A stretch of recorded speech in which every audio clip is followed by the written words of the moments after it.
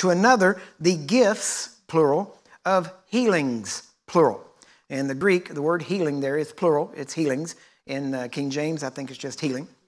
But it's gifts of healings, meaning every time somebody gets healed, that healing was a specific gift. Now, it being a specific gift means it was for that specific person, and how that gift operates can sometimes be for that specific person, right?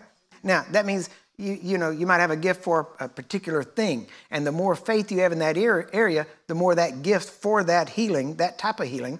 For instance, you pray for somebody, let's say you pray for two people in a row and they get healed of cancer.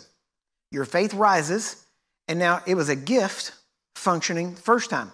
But now your faith is in operation with it, and now that gift is going to function even more so. Why? Because your faith in that gift operating has now increased, and God will use you greater in that, and it will keep going. Right? And that's usually when the devil says, Oh, we got to stop this. And so he will tr- really try to kill somebody that you're praying for so he can try to steal that word that was sown in your heart and so that he can stop you from ministering to people, right? That, that's what he does. Now,